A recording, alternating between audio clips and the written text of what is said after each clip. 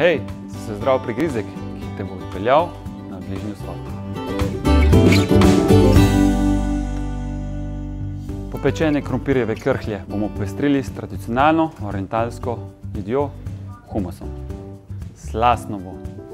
Pečico ogrejemo na 230 stopinj, krompir najprej olupimo in ga nato narežemo na krhlje. Polijemo ga z oljčnim oljem, dodamo česen, poper in sol. Pripravljen krompir damo v pečico za 30 minut. Medtem ko čakamo, da se speče krompir, pa bomo pripravili humus. Najprej v ponj dodamo kanček oljčnega olja, vzamemo sezamova semena in jih pražimo, dokler ne postanejo malce rjava. Ko semena rahlo porjavijo, čakamo, da se ohladijo in jih dodamo v posodico. Dodamo malo oljčnega olja in zmešamo.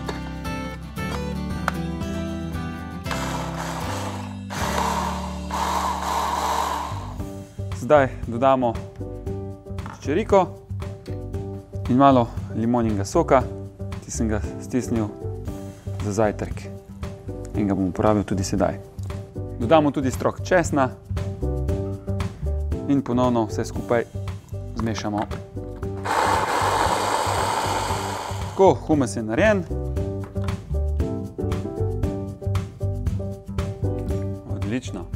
Zdaj pa vzamemo kar krompir iz pečice. Ga rahlo posolimo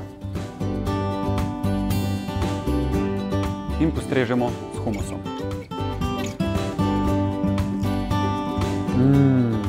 Très bien, mislim odlično. Korenje.